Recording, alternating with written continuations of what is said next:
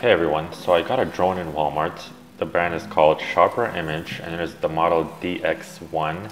It was the smallest model from Sharper Image that Walmart had for sale. There were a couple more models that were bigger and more expensive. The most expensive one had a camera on it. This drone does not have a camera so it's only for flying. The box says it can fly 100 feet and that it has auto orientation and auto landing. So let's try it out.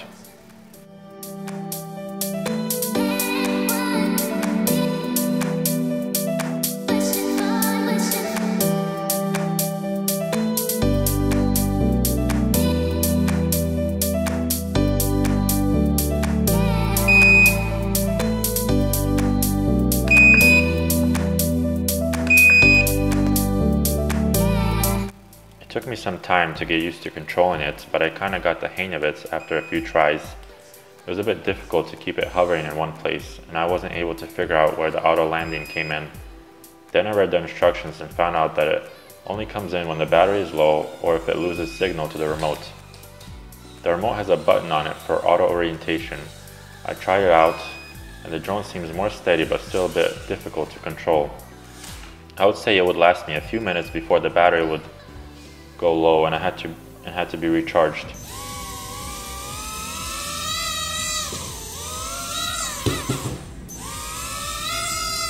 Most of the time the drone fell, I had to reset the blade guard so they would not be blo blocking the blades because it would get bumped out of place.